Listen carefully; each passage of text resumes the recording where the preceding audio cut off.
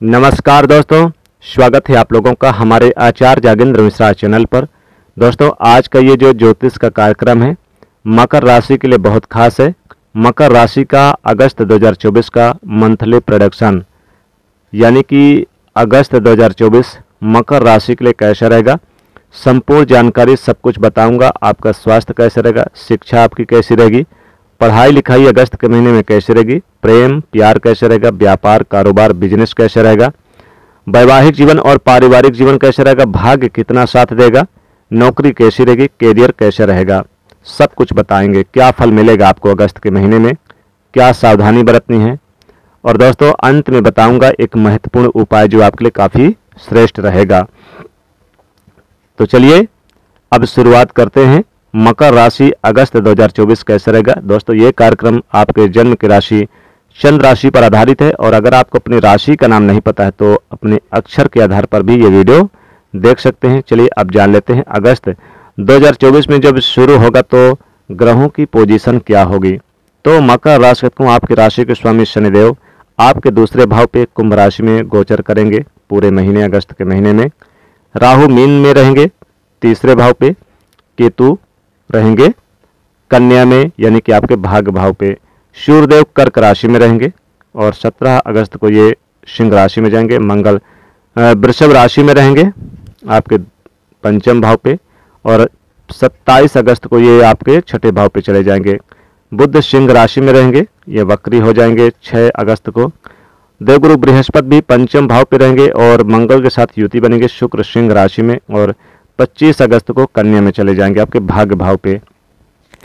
अब आपको बड़े ध्यान से सुनना और समझना है, मकर राशि को सबसे पहले जानेंगे आपके स्वास्थ्य के बारे में। स्वास्थ्य आपका कैसा रहेगा? तो देखिए, मकर राशि को आपके राशि स्वामी शनिदेव दूसरे भाव पे हैं।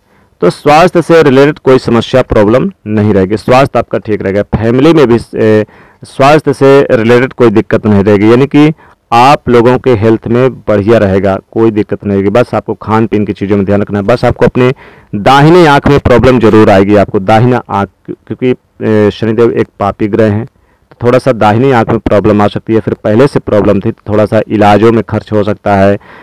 आँख कहीं आप जाकर दिखा सकते हैं तो थोड़ी सी यात्रा भी बनेगी। यानी शारीरिक परेशानी आँख वगैरह में हो सकता है थोड़ा सा थोड़ा सा यहाँ पर आपको ध्यान रखना होगा। बाकी चीज़ों पर ध्यान रखें खान पीन पे चीज़ों पर ध्यान रखिएगा। हेल्थ से रिलेटेड कोई दिक्कत ना हो, मौसमी कोई बीमारी ना हो, ये चीज़ों का ध्यान रखें। बाकी कोई बड़ी चीज़ें आपके जीवन में नहीं होगी, इस चीज़ को आप नोट कर लीजिए। बात करें पढ़ाई लिखाई कैसी रहेगी? विद्यार्थियों के लिए कैसा रहेगा? तो पंचम भाव होता है पढ़ाई लिखाई का। पंचमेश जो होते हैं, शुक्र ग्रह।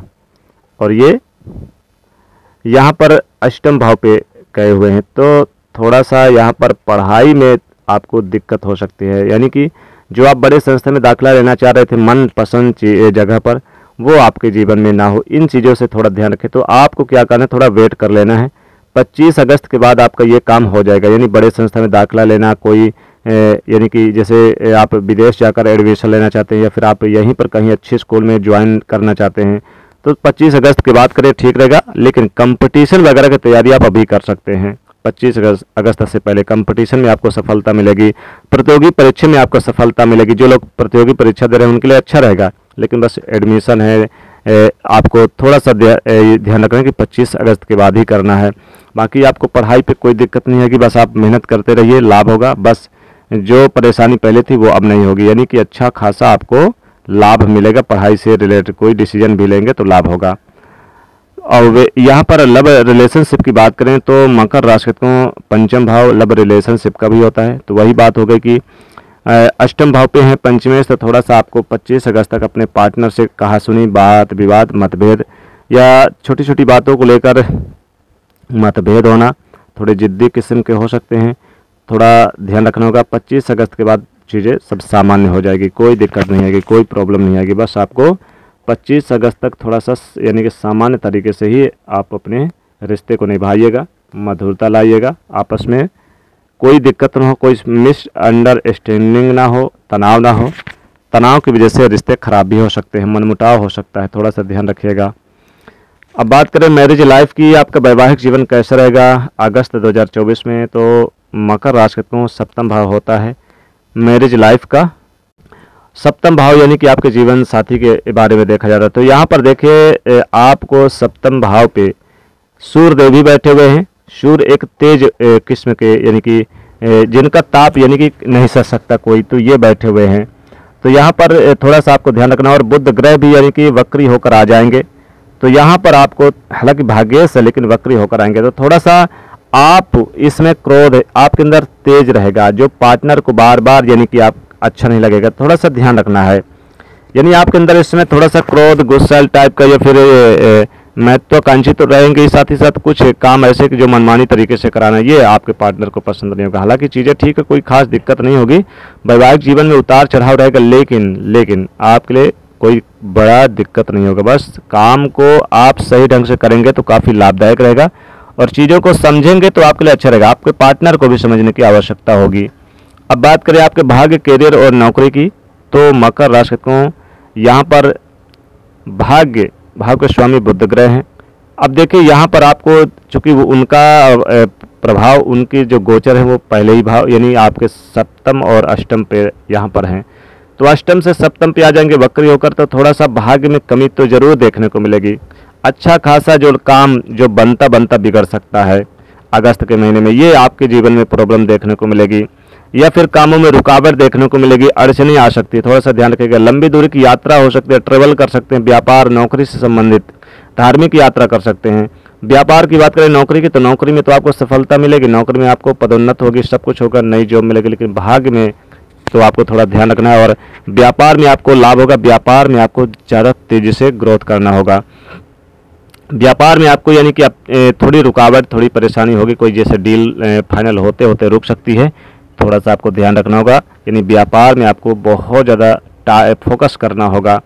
मकर राशि को बेवजह कहीं पर भी पैसे इन्वेस्ट नहीं करना है, लोटर सट्टा से दूरी बनाए रखें शेयर मार्केट में पहले से किया तो लाभ होगा।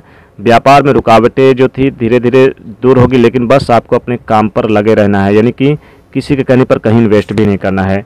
पार्टनर में कर रहे हैं, तब भी पारदर्शिता रखिएगा, और कोई महत्वपूर्ण डिसीज़न लेंगे। घर परिवार में समाज मान सम्मान प्राप्त होगा, मानसिक चिंताओं से मुक्ति मिलेगी। राजनीतिक मसले हल होंगे। कोई महत्वपूर्ण कार्य पूरा होगा अगस्त के महीने में, जो आपके लिए लाभदायक रहेगा, संतान की प्राप्ति भी होगी। तो ये था दोस्तों आपके लिए, और उपाय की बात करें तो देखिए, मकर राशि को आपको ओम सम शनिचराय नमेश मंत्र का जाप करना है पूरे महीने, और शनिवार के दिन पीपल के नीचे आप एक मुट्ठी काले तिल और एक मुट्ठी काली उड़द, अपने सर से तीन बार उल्टे बार के पीपल की जड़ पे डाल के आना है, तीन बार परिक्रमा करना है। और शनिवार के दिन सूर्य उदय से पहले पीपल का दर्शन करना है। शनिदेव के स्त्रोत का जाप करें और शनिवार के दिन काली वस्तु ना खरीदे, ये उपाय करेंगे तो लाभ ज़रूर मिलेगा। तो ये था मकर राशि के जातकों के लिए अगस्त 2024 का राशिफल। दोस्तों, वीडियो को ज़रूर लाइक कर दीजिएगा, शेयर करिएगा, चैनल को सब्सक्राइब करिएगा। जय शनिदेव।